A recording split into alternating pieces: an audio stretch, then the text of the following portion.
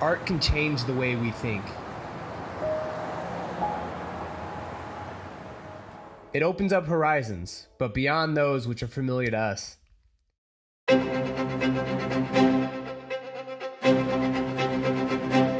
In 1995, Guinness announced the record for the largest outdoor mural in the world, residing in Pueblo, Colorado.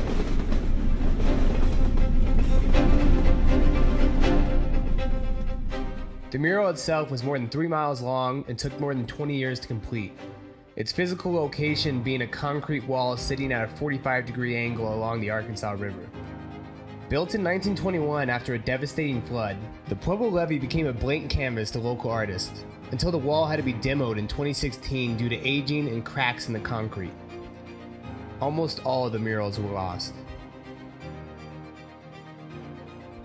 In October 2021, artists returned to the levee, more prepared and inspired than ever.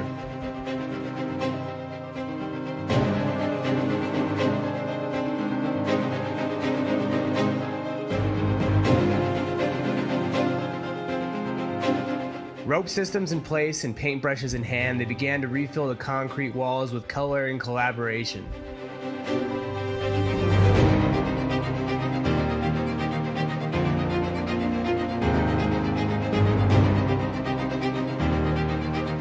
Muralists from around the state have flooded the wall young, old, men, women, and animals.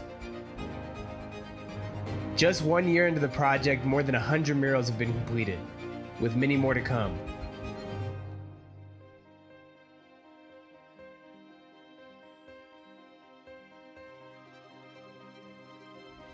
The only question is who will be a part of history?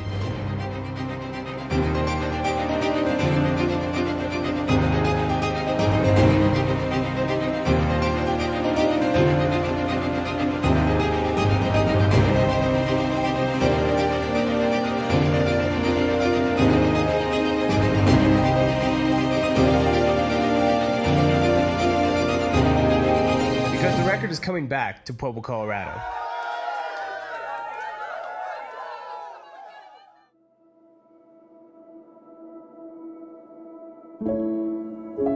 I'm convinced if more people engaged with art, the world would be a much better place.